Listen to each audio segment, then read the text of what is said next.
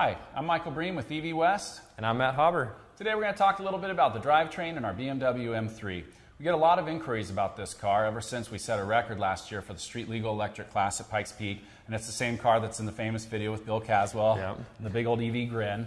So a lot of people wonder, uh, you know, what's involved in making a system like this. It's pretty simple. It's two NetGain 11-inch motors hooked up to a Powerglide two-speed transmission without a torque converter. So it's a direct drive system. It's pretty unique.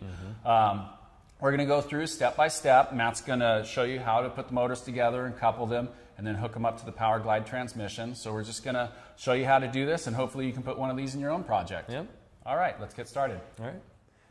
So one of the first things that we need to do here is uh, we need to cut these shafts down. Uh, they come pretty standard universal. They're about three, four inches long. Here at EV West, we really like to make everything as compact as possible. So we actually have our inner, inner motor flanges down to three inches. So what that's going to mean is we need to cut these uh, motor shafts down to just a little less than an inch and a half each. And then we can couple these together. All right, so I have my calipers set at an inch and a half, and what I'm going to use is a 12 volt battery to spin the motor shaft as I mark it with my permanent marker.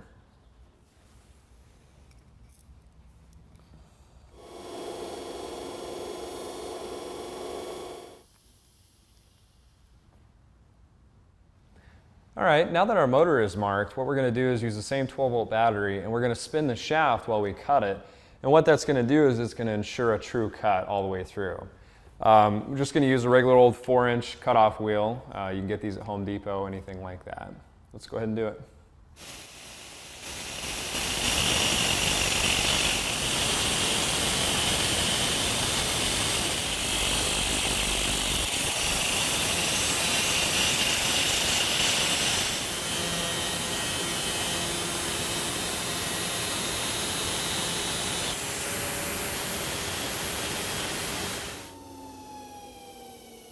Okay.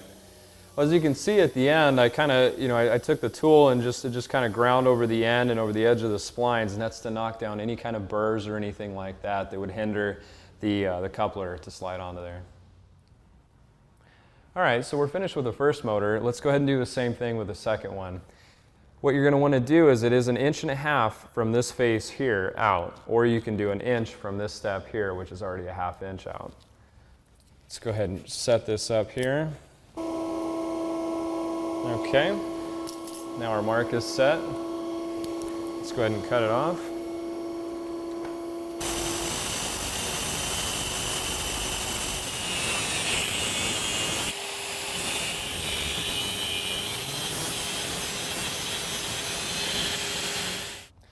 All right, so we have our two motor shafts cut down here now. Um, let's go ahead and put the coupler in between the two and push them together and make sure that our distance between here is uh, a little less than three inches, maybe 20 thousandths under.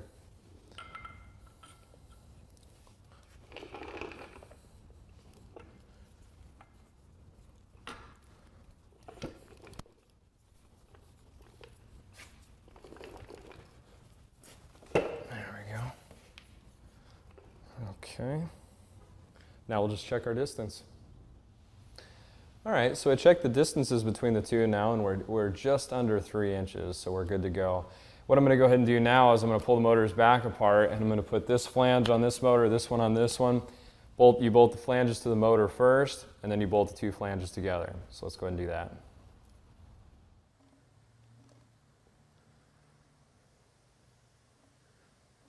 A little bit of a bear sometimes lining these splines up. There it goes.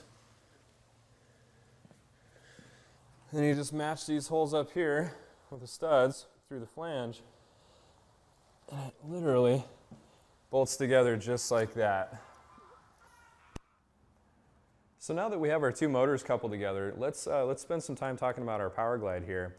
Uh, original Powerglide will come with this with an input shaft similar to this. This is, this is how much sticks out um, out of the front pump housing. So there are options out there that you can buy right off the shelf similar to this that basically allow you to eliminate the torque converter. But as you can tell, that much hanging out of the pump, we're looking at about a, you know, an eight inch adapter and that just doesn't work for most projects. We've already got a pretty long motor here. We've got to, we've got to find a way to get these things tightened up. So that's when we came up with this. This is our custom input shaft here, and this is a female Turbo 400 spline that literally will bolt right on the back of a, of a uh, Warp 11, Warp 9, anything with the Turbo 400 output shaft. Now, because of the fact that we're not running a torque converter, we actually have to supply oil when these motors aren't spinning. We actually have to supply oil pressure to keep the clutches engaged.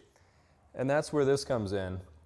This fitting right here on the outside is where our electric pump gets, uh, uh, where the pressure gets put in. Goes in through here, there's a one-way check valve, goes through this line and it goes right into the front pump. Feeds pressure just like the transmission is used to seeing. All right, well before we get this thing mounted up, I uh, just kind of want to talk about the splines, uh, the reason why we did a splined coupler instead of a keyed shaft. Um, one of the reasons is, uh, you know, not having a set screw pushing down on a keyway and being able to get to that. None of that seems to really work out well. Uh, this transmission, I can literally grab a hold of it and I'll, I'll, just slide it right on the splines. I'll bolt it in and the thing is completely done. So uh, let's go ahead and do that.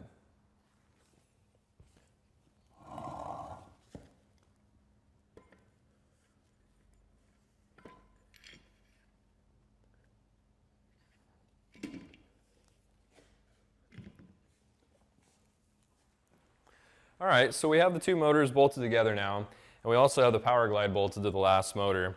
Uh, we should probably talk about a little bit about the hydraulic system in this. Um, now we don't run a torque converter with this Powerglide, so basically what we have to do is when the motors are not turning, we actually have to supply hydraulic pressure with this pump to keep the clutches engaged. Um, so literally it comes with the, you know, it comes with uh, good mounts for it. Uh, it comes with a rubber perch as well, keeps it real quiet. Um, we also supply a few other things. There's some fittings here, hose, relays, wiring, everything you're going to need to do that. Um, we recommend probably using number six fittings, um, uh, you know, just for, the, for running the plumbing on this. Um, also, we tried a lot of different things, pressure and everything else, but uh, what ended up working out best for us is an RPM window switch. And what this actually does is anything below 500 RPM, actually turns the pump on to keep all the clutches applied. Um, after 500 RPM is reached, this will shut the electric drive or the electric pump off, and the internal pump will take over, and you're rolling away. Uh, we have two 11s, which I'm sure you guys know by now. Uh, they're capable of doing 1,000 to 1,200 foot-pounds of torque between the two of them, and you can expect anywhere from 4 to 600 horsepower depending on voltage sag. Um, Overall length of the whole package is 54 inches. Um, and on the back of it here, obviously we have our two-speed Powerglide set up. You can get this in a 176 ratio first or a 182. And then second gear is direct, so just your one-to-one -one straight through. Um, yeah, some of the great features as well with this is it is more than capable of handling any kind of torque that these two motors can put out to it. But it also has park. Park is really important with electric cars. It, you know, these motors freewheel, and if you just rely on your, you know, engine holdback like you would on a gas engine, it'll just roll down the hill. So, great park. Um, you can use your e-brake as well as a backup. I think that's a good idea.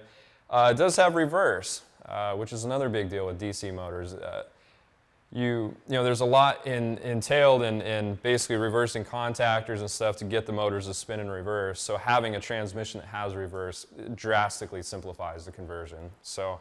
Um, yeah, I think that about wraps it up, man. Uh, you guys, uh, you know, any questions, please give us an email, give us a call, you know, whatever. Uh, we'd love to help you out. Matt Hauber, thank you. Man, I, I, need a break. I'm not, I'm not getting. Shooter McGavin. Oh. I, I, keep, hold on, let's just, just hold on. Let me, let me get situated. All right.